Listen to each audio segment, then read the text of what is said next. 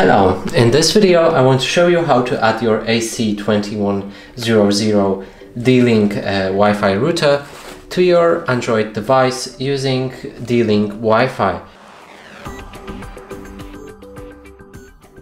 So in order to do this, here I already downloaded the app. So let's click on install new device and then scan, scan the QR code. From here your camera will pop up and now let's locate the card inside our box. It's this card right here. Let's scan this QR code. It should instantly find it. Now let's move to the next step.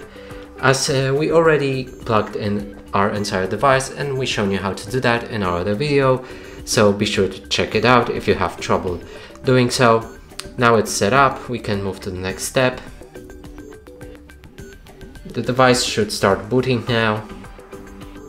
So let's wait for a few minutes until this uh, finishes.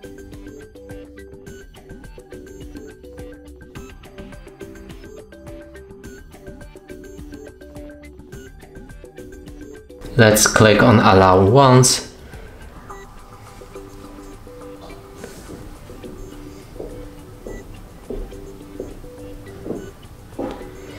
So our router is ready for configuration and that's it for this video. Hope you like it, please consider subscribing to our channel, leave a like and a comment below.